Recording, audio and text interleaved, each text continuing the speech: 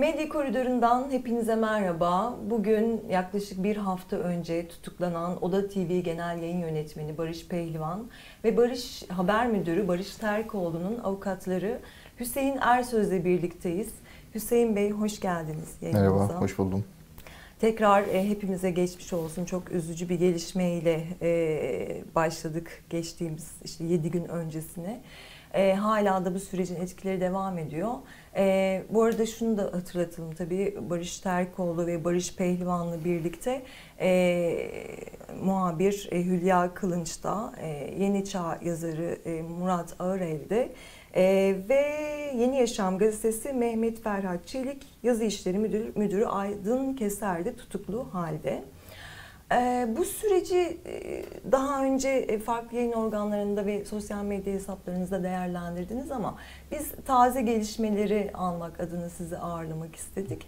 Bir de e, öncesinde bir hatırlatma yapalım isterseniz. Malum Türkiye'de her şey çok çabuk unutuluyor ve gündem çok hızlı değişiyor. Nasıl başladı bu süreç ve hangi olayla patlak verdi? Şimdi e, Oda TV biliyorsunuz ulusal yayın yapan bir haber hı hı. sitesi e, ve e, özellikle Oda TV özelinde Türkiye'nin her yerindeki yerel gazeteciler Oda TV'ye işte makaleler ya da işte hı hı. kendi bulundukları yerlerdeki haberleri paylaşırlar hı hı. ve bunlar da Oda TV yönetimi tarafından, e, editörleri tarafından değerlendirilir ve Oda TV'de eğer değer, e, yayınlanmaya değer görülürse yani bir haber değeri görülürse gazetecilik açısından böyle bir durumda da bunlar yayınlanır. Aslında burada karşı karşıya kaldığımız olay da tam olarak bu. Hı hı. E, Hülya Kılınç e, Manisa'da e, yaşayan bir yerel gazeteci.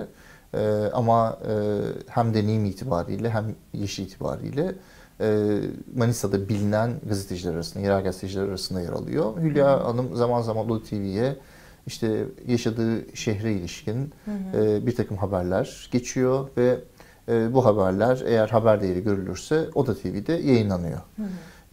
Hülya Hanım'ın bugüne kadar gönderdiği haberlerin hepsi haberleştirilmiş değil. Bir kısmı haberleştirilmiş, bir kısmı haberleştirilmemiş. Yani Hülya editoryal evet, şeyler, etkiler var burada. Geçiyor. Ee, burada e, aslında böyle bir durumla şeyiz, karşı karşıyayız. Yani e, Hülya Hanım e, bir gazetecidir. Hiçbir şey yok. Bunda bir beis yok. Yaptığı kesinlikle bir haber. Bunda herhangi bir beis yok. Hı hı. Fakat Oda TV ile e, olan ilişkisi aslında sadece bu şekilde göndermiş olduğu haberlerin yayınlanmasından ibaret. Bu haber e, Oda TV'ye gönderiliyor. O, Oda TV'de Barış Pehlivan tarafından bu değerlendiriliyor. E, bir şehit haberi olduğu için, MİT personeline yönelik bir şehit haberi olduğu için de bir takım kısıtlamalar yapılıyor. Haber olduğu şekliyle yayınlanmıyor, değiştiriliyor. E, yayınlanan bir fotoğraf var cenazeye ilişkin. Bu fotoğraf flulaştırılıyor. Hı E, oradaki yüzler çoğunlukla kapatılıyor. E, şehidimizin daha önce bir fotoğrafı var kamuoyuna yansımış olan. E, bu haber içeriğinde yer veriliyor ve e, aslında neden e, burada şehidimize ilişkin daha e, devlet erkanının da içerisinde olduğu bir haber yapılmadı, şey bir cenaze töreni yapılmadı şeklinde aslında bir eleştiriyi de içerisinde evet. barındıran bir haber kalem alınıyor. Sessiz sedasız Evet. Düzenlendi, tören düzenlendi. Evet, buna vurgu yapılmaya çalışılıyor aslında. Hı hı. Yani genel itibariyle söz konusu haber aslında ne e, şehit MİT mensubunun hı hı. ne de e, ailesinin hedef alınmasına yönelik herhangi bir bilgi içerisinde barındırmıyor. Şimdi bu tabi, haber tabii ki haberleştirilirken gazeteciler tarafından ve e, Oda TV editörleri tarafından şu husus da göz önüne alınıyor. Hı hı. E, bundan yaklaşık bir 10 e, gün 15 gün kadar önce işte e, Cumhurbaşkanı tarafından işte medyaya verilen bir demeçte işte Libya'da şehitlerimiz var açıklaması yapılıyor. Sonra haberin yayınlanmasından bir süre önce, zannediyorum ki 26 bir, Şubat bir olması hafta, lazım. Evet, bir hafta önce. Ee, İyi Parti milletvekili hı hı. E, bu konuyla ilgili olarak bir basın açıklaması yapıyor. Ve Libya'daki şehitlerimizden bahsediyor. Ümit Özdağ'ı kastediyorum. Evet. Ee, daha sonra bu e, işte sosyal medya hesaplarında yani milyonlara ulaşan sosyal medya hesaplarında paylaşılıyor ve bu mesele bir anda kamuoyuna aslında mal olmuş olan bir mesele oluyor. Ve ilk defa da bu cenaze görüntülerine Oda TV ulaştığı için bu haberi belki biraz daha geliştirerek bunu gündemine taşıyor. Ve aslında e, soruşturmanın kapısı da bu şekilde aralanmış oluyor. E, şimdi bir gece biliyorsunuz bu soruşturma MIT e, tarafından yapılmış olan bir ihbara dayanıyor. E, işte burada MIT Kanunu'nun 27. maddesinin 3. fıkrası var. Yani hı hı. MIT görevlilerinin, görevlilerinin ve ailelerinin işte e, tehlikeye düşürülmesi e, ve amacıyla işte bir takım bilgilerin yayınlanması. Hı hı. Üçüncü fıkrası buna ilişkin genel bir özet geçecek olursam. Ve bu minvalde başlatılan soruşturma kapsamında öncelikli olarak Barış Terkoğlu hı hı. gözaltına alınıyor. Barış Terkoğlu'nun... Sabaha karşı 4. Evet, Barış Terkoğlu'nun gözaltına alınmasının evet. sebebi şu. Ee, kendisi sitenin e, sorumlu haber müdürü hı hı. olarak geçiyor hı hı. Künye'de. Fakat e, tabii biliyorsunuz e, aslında internet yayıncılığında sorumlu haber müdürlüğü diye bir e, şey yok, sıfat yok. Hı hı. E, ve eğer haberin sahibi belliyse haberin sahibinin sorumlu olması gibi bir şey var, bir prensip var. Fakat buna rağmen savcılık tarafından Künye'de Barış Erkol'un ismi görülünce Barış Erkol'un aslında haberle de herhangi bir ilgisi olmamasına rağmen e, Barış Erkoğlu gece yarısında gözaltına alınıyor. Sabaha karşı gözaltına alınıyor. Tabii bunun öncesinde e, sosyal medya hesaplarında işte troll hesap olarak adlandırabileceğimiz hesaplarda ya da işte bir takım e, basın yayın kuruluşlarının temsilcileri tarafından da bu konuyla ilgili olarak Onu haberler yapılıyor. bence konuşalım. O Aha. 20 gün önce başlayan süreci e, kastediyorsunuz Hı-hı. anladığım kadarıyla. Barış Terkoğlu'nun gözaltına alınmasından 3 saat öncesini Atılan bir tweet var. Evet, ondan evet birkaç tane tweet var. Evet, evet. Bununla ilgili olarak yapılmış evet. olan yayınlar var. Hı hı. Yani bir sakıncası yoksa tabii ki ben tabii bunların ki, isimlerini şey yaparım. Rahat konuşabilirsiniz. Ee, Bunu konuşmak için buradayız. O, e, basın yayın kuruluşunun temsilcisi Ersoy Dede. Ersoy Dede tarafından evet. işte e, haber hedef gösterilerek e, işte bu haberi e, yapanlar yarın öbür gün soruşturma geçirir ve tutuklanırlarsa bununla ilgili olarak basın özgürlüğü kavramının arkasına sığınmasınlar şeklinde bir açıklama yapıyor. Yine, açık açık tutuklanacaksınız evet, Yine gözaltına alınmasından evet. önceki akşam hı hı. yani gece sabaha karşı saat 4'te gözaltına alınıyor. Bir önceki gün saat 21 sularında Beyaz TV'de bu konuyla ilgili olarak bir haber yapılıyor. Bunu da gazeteci İsmail Saymaz sosyal medyada paylaşmıştı. Ee, ve orada da e, işte iki gazeteci karşılıklı olarak Beyaz TV'de e, işte e, bundan dolayı işte bu haberden dolayı e, tutuklanmaları gerekir şeklinde minvalinde bir takım değerlendirmelerde bulunuyorlar. Ee, bunun neticesinde tabii sosyal medyada da ciddi bir şey var, hareketlilik var ama evet. daha çok kimlikleri belli olmayan işte böyle troll hesaplar olarak adlandırabileceğimiz hesaplardan yapılan yayınlar var. E, hatta yani bu yayınlar öylesine ileri gidiyor ki bunlarla ilgili suç duyurusunda bulunmaya hazırlanıyoruz. Hı hı. E, işte bu kişiler tutuklanmalı hatta cezaevinde infaz edilmeli evet. bu haberi yapanlar. Ne kadar vahim, evet. ne kadar korkunç. Evet şeklinde. E, sosyal medya hesaplarından yapılmış olan paylaşımlarla da şey yapıyoruz, karşılaşıyoruz. Bir de şey var 20 gün önce e, Cumhurbaşkanı Recep Tayyip Erdoğan Azerbaycan ziyareti dönüşü e, sonrası yani uçakta gazetecilerle yaptığı toplantı toplantıda e, yanılmıyorsam Beyaz TV e, evet. temsilcilerinden e, Beyaz TV haber müdürü evet. e, açık açık e, Oda TV'ye yönelik e, bir e, soru soruyor. Yani soru soruyor ve resmen algı operasyonu evet. yapıyor aslında o cümlesi. Yine, Osman e, Kavala üzerinden kurduğu e, bir e, soru cümlesi var. E, evet. Hatta hatırlatalım e, bence e, söylediği şeyi. Diyor ki ee, söyleyen de bu arada Murat Erçin, Beyaz TV haber müdürü. Gezi davasında tutuklu olan iş adamı Osman Kavala'nın serbest bırakımı skandal bir karardır diyor. Ee, e, dolayısıyla işte Oda TV o dönemde e, çok e, destek vermişti gezi olaylarını ve propagandasını yapmıştı. Hatta 15 Temmuz'da e, devlete katil demişti, polislerimize katil demişti. Neden 15 Temmuz iddianamesine dahil edilmedi Oda TV ve çalışanları evet. diye e, açık bir çağrıda bulunuyor aslında. Bu çok Doğru söylüyorsunuz. Evet. Yani bir gazetecinin tabii e, başka gazeteciler hakkında e, bu şekilde bir açıklama yapmasını ve bu e, soru da değil üstelik. evet bir, bir yoruma evet. evet. E, ve e, hedef göstermeye varacak bir takım değerlendirmelerde bulunmasını evet. garipsememek mümkün değil.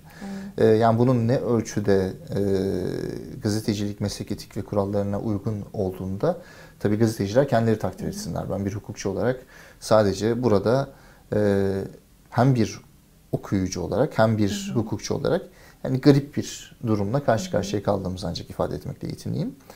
E, ve sonrasında e, Barış Terkoğlu e, işte eşiyle birlikte evde hı hı. E, ve eşiyle işte durumu paylaşıp işte kapımıza gelebilirler. E, ne yapmamız gerektiğini zaten 10 sene öncesinden biliyorsun. Kendine dikkat et, çocuğumuza dikkat et diyor ve arkasından oturup çalışmaya devam ediyor. Kaldığı yerden bir kitap hazırlığı içerisindeler. Evet. Mahrem kitabının ikincisini çıkartma hazırlığı içerisindeler. Ee, sonrasında e, işte sabaha karşı 4 civarında e, Başsavcı Vekilinin sözlü talimatına istinaden e, Barış Terkoğlu hakkında gözaltı kararı veriliyor. E, polisler Barış Terkoğlu'nun evine kapısına geliyorlar sabah saat 4'te. Bu arada Barış sorgu tutanağında da bunu ifade etmişti. Ben avukatlarıma da haber verdim. Onların da haberi vardı diyor. Evet gerçekten de haber vermişti bu konuyla ilgili olarak. Ne, Ve ne nasıl bir konuşma geçti Benimle benimle konuşmadı. Evine Hı. çok yakın bir yerde bir Hı. başka bir meslektaşımız. Bu davaya beraber baktığımız avukat Hı. Serkan Günel var. Serkan Günel de bunu paylaşmış. İşte bak böyle troll şeyler var. Benim beni şu anda sosyal medya linçine Hı. uğratıyorlar bu haberden dolayı. Ee, şunu bilin ki benim bu haberle herhangi bir ilgim yok. Ee, diğer taraftan da e, bunlar e, işte biraz önce ismini vermiş olduğumuz işte yayın kuruluşlarının temsilcileri ya da çalışanları Hı-hı. tarafından işte hedef gösteriliyorum, tutuklanmam gerektiği yönünde Hı-hı. değerlendirmeler yapılıyor.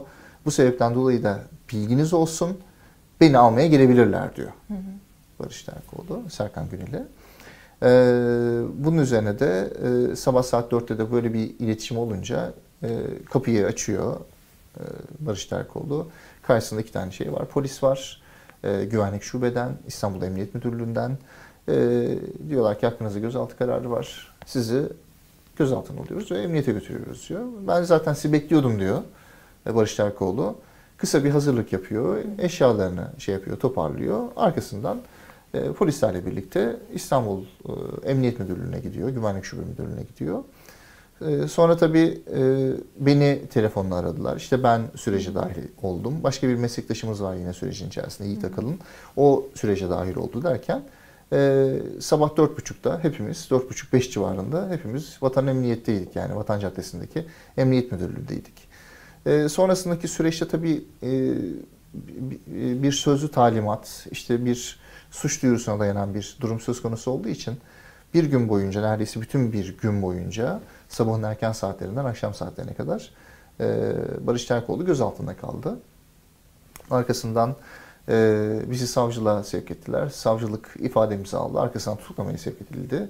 Hülya Kılınç bu arada öğlene kadar Hülya Kılınç ile ilgili herhangi bir gözaltı işlemi uygulanmadı. Evet. E, Hülya Hanım zaten Manisa'da yaşıyor. Hı hı. E, sonra Manisa'da işte gözaltına alındığı e, bilgisine yani. ulaştık. Evet. Ondan sonra akşam saatlerinde Hülya Hanım yine adliyeye getirildi. O da başka bir savcı tarafından ifadesi alındı. O da tutuklamaya sevk edildi. Ve e, sonuç itibariyle ertesi gün... Ertesi e, günde galiba Barış Pehlivan. Onda şu şekilde oldu. Ben savcılık ifadesi sırasında, Barış Erkoğlu'nun savcılık ifadesi sırasında e, savcı beye ya bu e, bizim hukuk düzenimize yakışmıyor. Biz bu uygulamaların geçmişte kaldığını düşünmüştük. Yani sabaha karşı işte gözaltıların vesaire. Barış Terkoğlu işte neredeyse her gün İstanbul Adliyesi'ne ya da Anadolu Adliyesi'ne gidip orada ifade veren bir gazeteci e, sorumlu müdür olduğu için.